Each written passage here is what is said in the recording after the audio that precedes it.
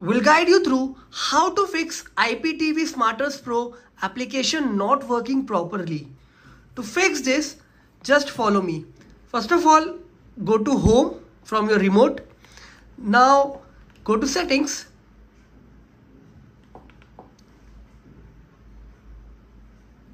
Scroll down, click on apps.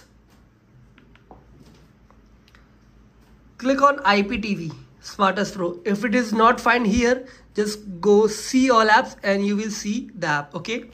Click on IPTV Smarters Pro. Now just click on clear cache. Removing cache will improve your app performance. Okay. After this, just click on clear data. Click OK.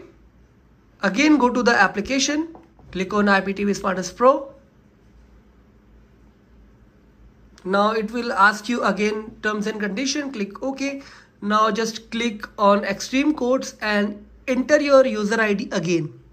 After entering the user id and password just click on add playlist and it will take a second. And then you can see there's live tv there's a lots of movies.